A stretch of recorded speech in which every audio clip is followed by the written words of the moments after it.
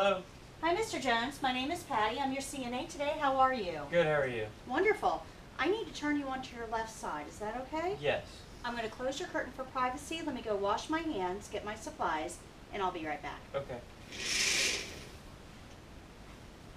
I'll start gathering your supplies. We'll start with a barrier, which I'll place on the table to provide a clean area to place my supplies. And I'll get three pillows from Clean Supply Cabinet, being careful not to allow them to touch my uniform.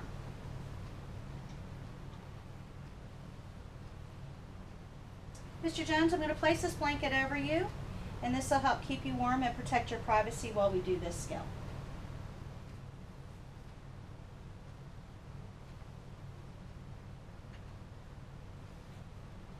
Once I have the blanket in place, then I'll pull the sheet down underneath the blanket, making sure the patient remains covered at all times.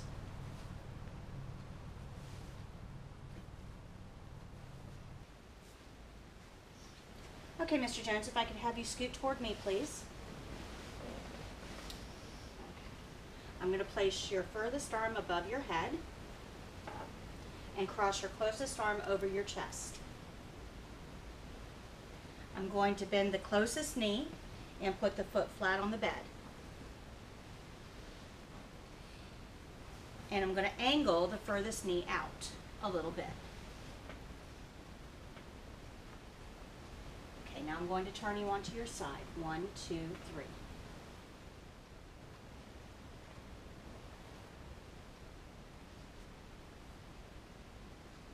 Okay, I'm going to take the first pillow and put it in an angle up against the back and I'm going to tuck this top edge underneath the patient by pushing down on the pillow and under his back. This edge will roll up and then it too will be pushed down and under, forming a roll along the back.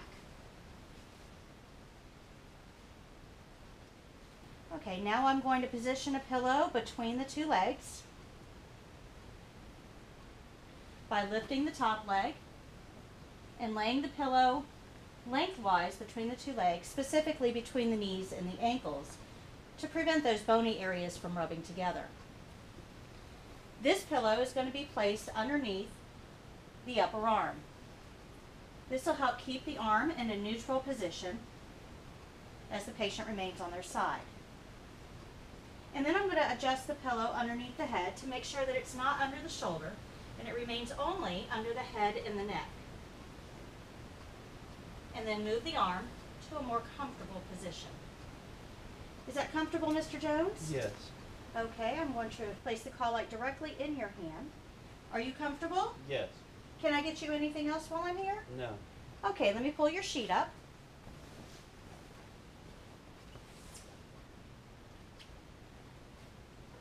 And remove the privacy blanket. Being careful not to dislodge all of those pillows as I do so.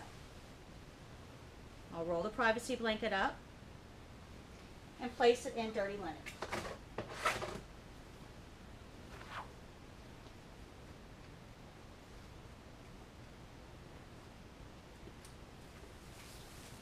The barrier will be thrown away.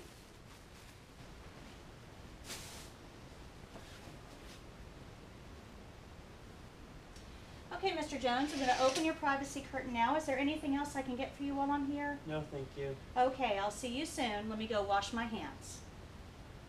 After washing my hands, I'll review all the steps of my skill, make any corrections, and tell the evaluator my skill is done.